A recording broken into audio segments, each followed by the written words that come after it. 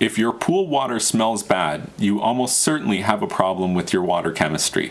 Now, nobody likes to admit that they're not doing their water chemistry properly or that uh, the problem is a result of their inability to balance the water. But the reality is that swimming pool water only smells bad when there's a problem with the chemistry. Um, there could be any one of a number of factors that could cause that, and the best way to get to the bottom of it is to test your water. If you're relying on the occasional pool test strip to make sure that everything is good in the water,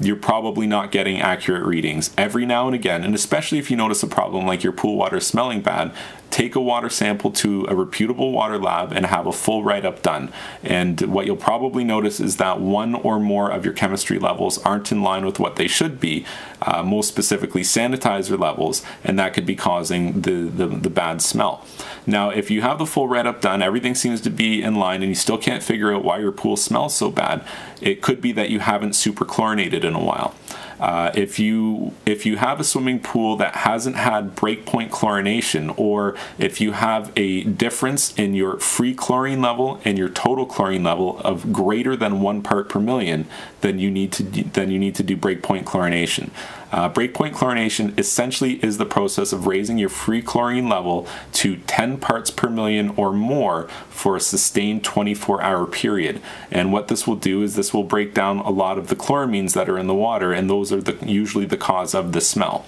So if you're if you have a problem with your pool water smelling bad, have a water lab, lab do a write up of your water, do a full analysis, and if that doesn't reveal anything obvious, then try super chlorinating your pool up to 10 parts per million free chlorine for a full 24 hour period. If this information was helpful, please like this video and subscribe to my YouTube channel, and you can check out my website, swimmingpoolsteve.com.